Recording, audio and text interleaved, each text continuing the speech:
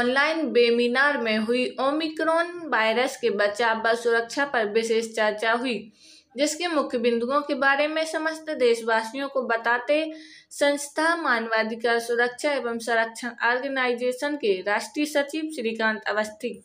सभी देशवासियों को मेरा नमस्कार। जय श्री राम। मित्रों, आज हमारी ऑर्गेनाइजेशन, मानव अधिकार सुरक्षा एवं संरक्षण ऑर्गेनाइजेशन की तरफ़ से एक वेबिनार रखी गई थी।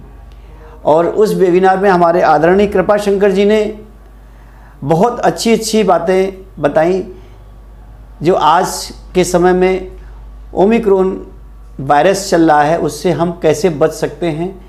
उसके बारे में उन्होंने कई बिंदुओं पे बात की और हम सभी को बताया। तो मैं आप सभी को उनकी बताई हुई कुछ पॉइंट कुछ तरीके बचाव के हैं, जो मैं आप लोगों से शेयर करना चाहता हूँ। जैसे नंबर एक, हमें मास्क बहुत ज़रूरी है। कई बार लोग घर से मास्क लगा के निकलते हैं और रास्ते में हटा देते हैं या कई बार निकालते हैं, फिर लगाते हैं। ऐसा नहीं करना है। हमें मास्क प्रॉपर लगाना है, तभी इस वायरस से हम बच सकते हैं। नंबर दो, हम घर से निकलने के बाद सोशल डिस्टेंस का पालन नहीं कर पाते हैं।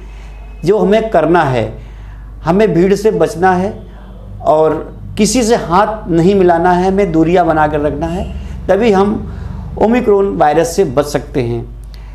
हम घर आकर के अपने हाथ को सैनिटाइज़र करें, अपने कपड़े जो हम पहन के गए हैं, वो प्रॉपर वे पे उसको अपने अलग रखें और घर में दूसरे कपड़े पहने।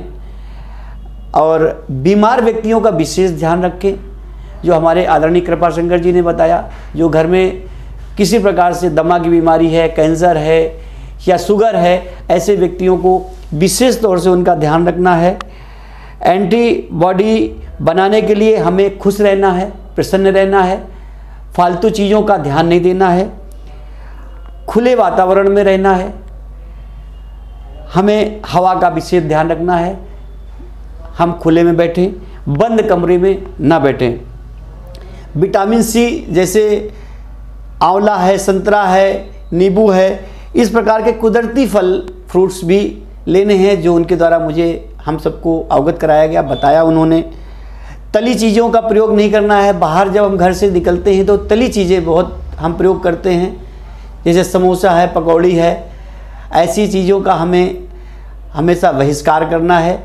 और कोशिश करें कि घर में भी आयली चीज़ें हम कम से कम इस्तेमाल करें। अपने खुद अपने खुद का ध्यान रखें। हमें भरपूर पानी लेना है। क्योंकि 70 परसेंट पानी हमारे शरीर में होना चाहिए। और कोशिश करनी चाहिए कि हम गुनगुना पानी पिए, जिससे गुनगुना पानी से वायरस ख़त्म हो जाता है। तो हम दिन में कई बार गुनगुना पानी पिए, उसका प्रयोग करें, योगा करें।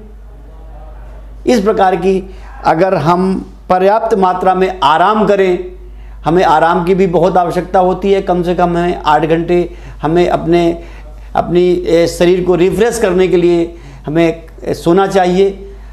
हम कई बार आजकल के जो हमारे बच्चे हैं, वो पूरी नींद नहीं ले पाते हैं। कंप्यूटर में, मोबाइल में वो लगे रहते हैं, सोशल नेटवर्किंग में लगे रहते हैं। पढ़ाई का बहुत सारा बोझ है जो ऑनलाइन होता है, लेकिन उसको अवॉइड करके हमें प्रॉपर आराम करनी है।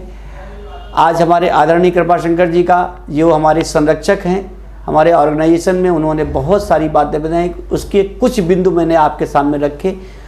इनके द्वारा हम अपने इस ओमिक्रोन वायरस से बच सकते हैं। जय हिंद जय भारत।